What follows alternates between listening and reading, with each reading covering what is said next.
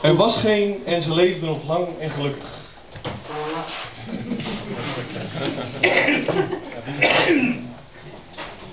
Dankjewel. Wij concludeerden dat angst een eendimensionale emotie was. Niet veel aan, alleen maar happen naar de baas, een beetje saai eigenlijk.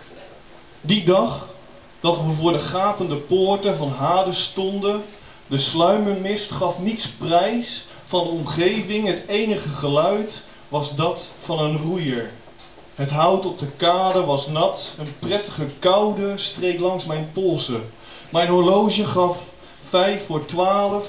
Naïef als ik was, geloofde ik, de liefde is mijn God, meer niet.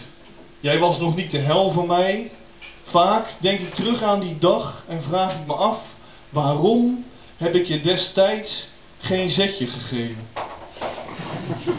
Thank you.